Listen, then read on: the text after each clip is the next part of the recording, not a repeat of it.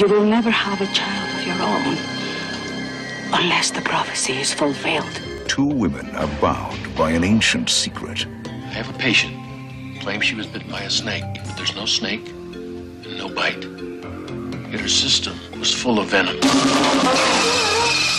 These nightmares, they're not normal. Matt, everybody has bad dreams. Both share a vision of mysterious powers.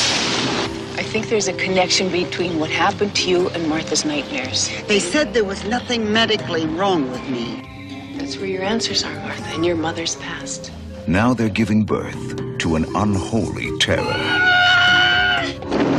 Nothing can stop us now, Mia.